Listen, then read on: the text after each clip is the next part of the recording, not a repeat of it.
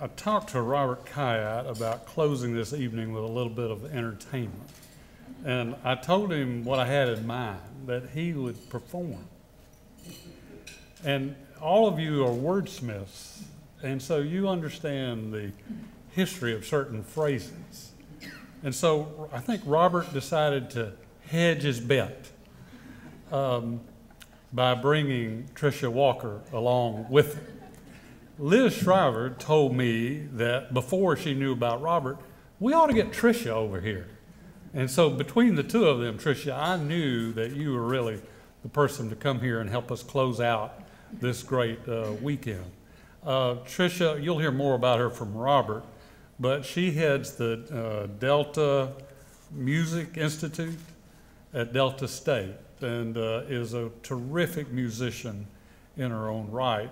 A lot of you don't know Robert's uh, musical abilities, uh, but he was featured on the front of a, a clearly objective publication called the Ole Miss Alumni Review. and he was pictured with a guitar, and it said, Chancellor Robert Khayat, Renaissance man. So, all I would like to say is let's welcome the Renaissance man and Tricia to help us end this wonderful evening.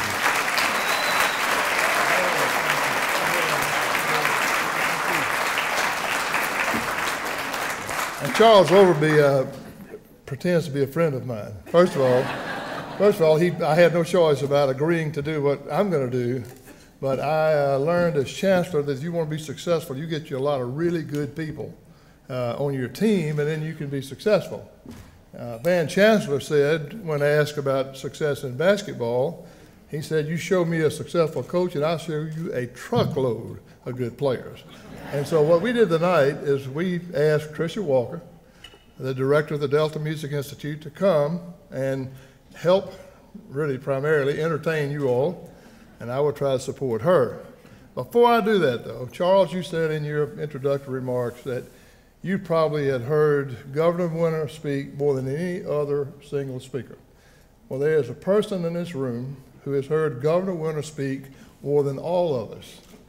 And that person is the delightful, beautiful, smart, capable, tough, lovely, gracious Elise Winter. Would you stand up, Ms. Winter?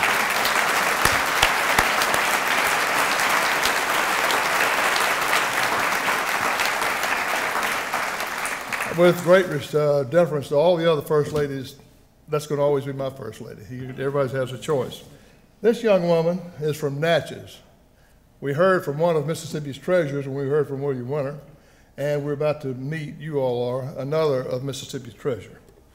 Tricia holds degrees, undergraduate and graduate degrees in music education and music theory.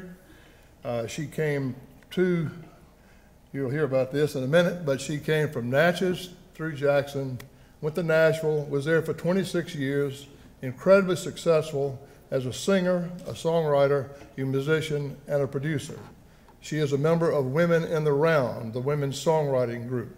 She has sung harmony and background vocals for Shania Twain, for Paul Overstreet, and for Connie Smith, all of whom are nationally renowned, internationally renowned stars. And uh, since Tricia has come to Mississippi, she has uh, launched this program at Delta State, which is going to focus on the wealth of talent that we have in, the, in music, and she is one of the crown jewels of that wealth of talent. So please welcome Tricia Walker.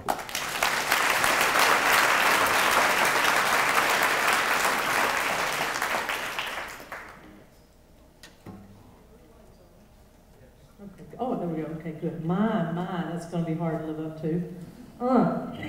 But I thank you, and I do want to thank Dr. Khayat for the invitation. I, I, I enjoyed so much your speech, Governor Winter, and uh, even though I was born with music in my soul, I too have ink in my blood. My mother was a, a newspaper editor of a small paper in Jefferson County, Mississippi, for over 20 years. And my first, my first employment was actually catching the papers as they came off the old printing press and were folded. I was six years old, and I had to, every time a stack of them came, I had to go take them out and put them in a box and come back and sit down and get the next stack and put them in the box. So I know the sound of a printing press, and it's a beautiful sound. It's kind of music to my ears, but thank you for letting me be here. I want to do a little song for you, um, since y'all are nice and full now. And since most of us, is everybody in here a Southerner? Anybody from outside of the South that cares to admit it? Oh, don't be so shy. It's okay. It won't hurt. We're not going to hurt you. It's okay.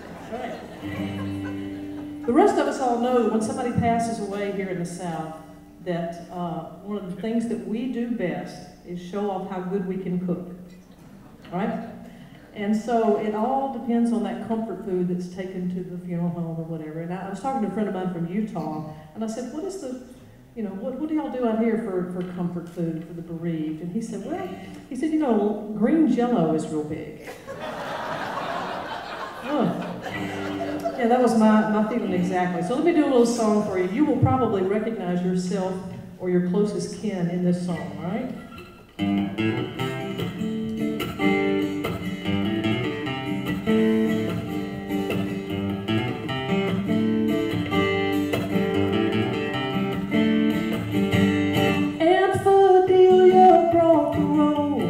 with her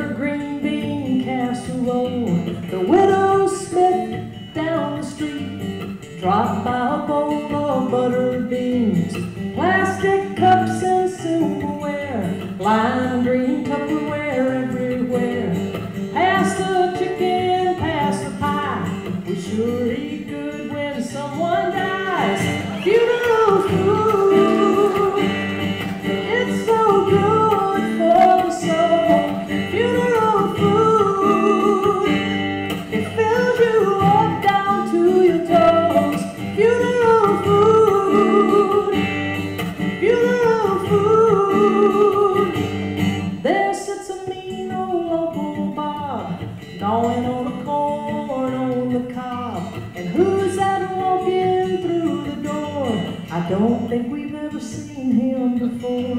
And isn't it a shame she passed away? She made the best chocolate cake.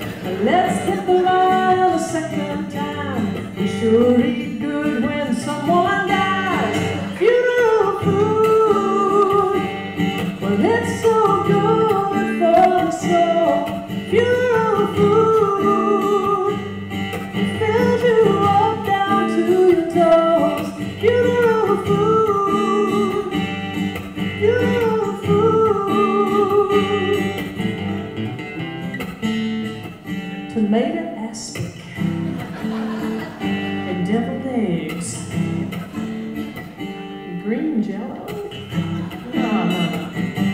Everybody's here for the feast, but come next week, where will they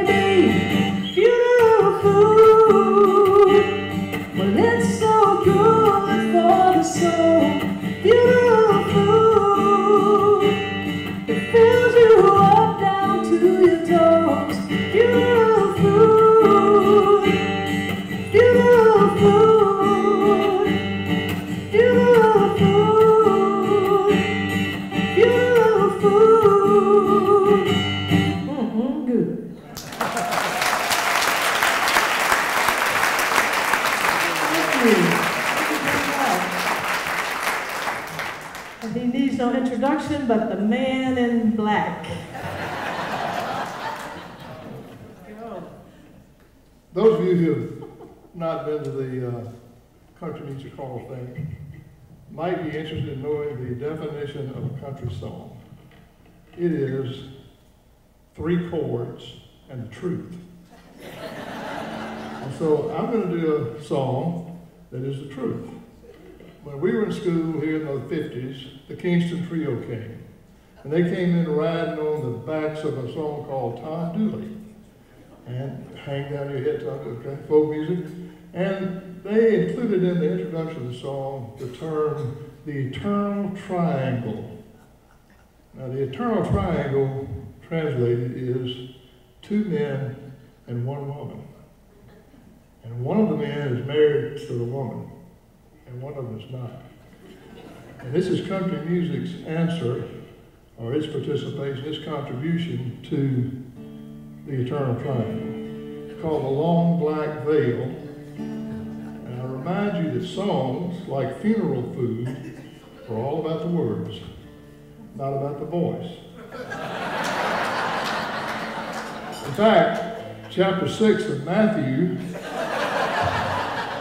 says that we should pray in our closets. P L A Y is a good substitute for pray. You know, don't people like Robert Khayat ought to play in his closet as well. But here we go. I'm gonna give it a little shot at long black all right? If I'm flat or short, tell me, okay? Thank you. Well, ten years ago, on a cold, dark night, someone was shot beneath the town hall light.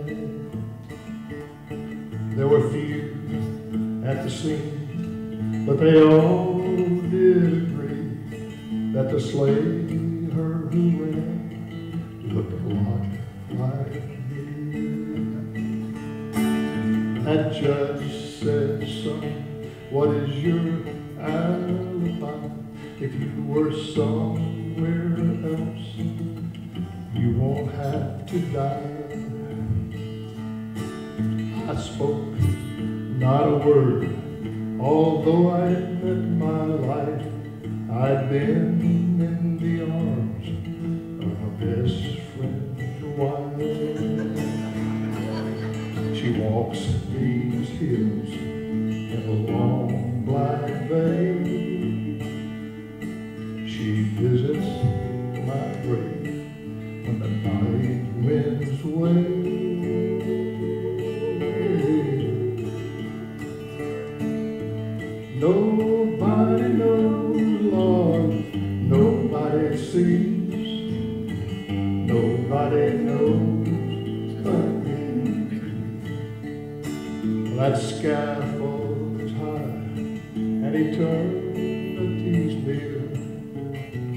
She the crowd and shed not a tear.